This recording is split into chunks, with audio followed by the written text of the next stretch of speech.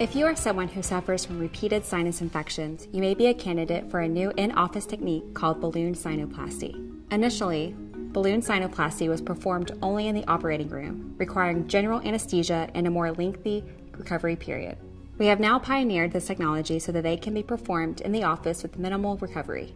Dr. Pasha was the first in Houston to develop this technique and is now nationally recognized for his expertise in balloon sinuplasty. He has several research protocols for balloon sinuplasty and has authored several publications on the technique and indications.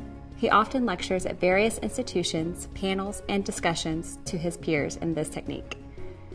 He also has special interest in corticosteroid eluting sinus implants for severe sinusitis. But before we look into the actual procedure, let's examine what sinusitis is.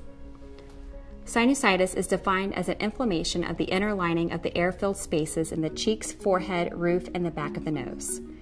This inflammation may be from a blockage at the sinus opening of the sinus, or it may be from an infection from bacteria, a virus, or a fungus. The pressure from the blocked sinus and the irritation of the inflamed sinus causes facial pain and pressure and headaches. In office balloon sinuplasty may be for you if you have recurrent sinus infections that do not go away despite being treated with medicines. Balloon sinuplasty is a catheter based system in which a small flexible balloon wire is placed into the opening of the sinus and then blown up to widen up the natural openings of the sinuses. The total time for this procedure may take from 30 minutes to an hour, depending on the complexity. This procedure is typically highly tolerated and routine. It is one of the safest procedures performed on the sinuses. The most common potential risk is a future conversion to the operating room if the procedure fails to reduce your symptoms. Immediately after the procedure, you may have some mild bleeding that typically resolves within an hour. Significant pain and discomfort is rare. You should not have to take time off from work or school the following day.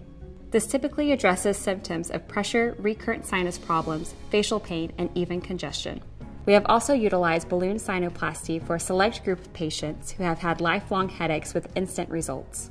For those of you who also have constant nasal congestion, nasal blockage, or snore, Dr. Pasha may also suggest undergoing another procedure that addresses the most common source of nasal obstruction, the turbinates. The turbinates are fleshy shelves located in the inside of your nose. There are three on each side. However, the lower turbinate is the largest and primary cause of nasal obstruction. Turbinates become enlarged or congested normally for several reasons, such as change of weather, change in posture, food, exercise, and stress. Other common causes for severe congestion are allergies, colds, and other irritants like smoke.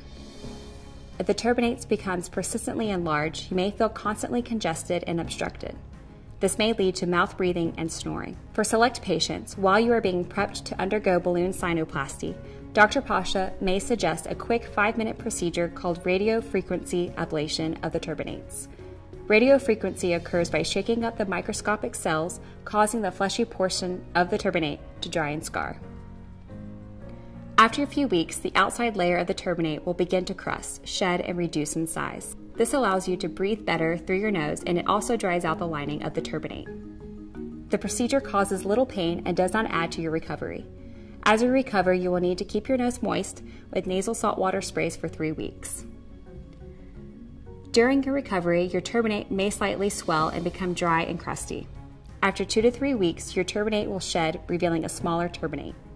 We hope that you have a better understanding of an in office balloon sinuplasty, and we look forward to helping you breathe freely both day and night. For more information or to schedule an appointment, please visit pashamd.com or call us at 713 523 8800.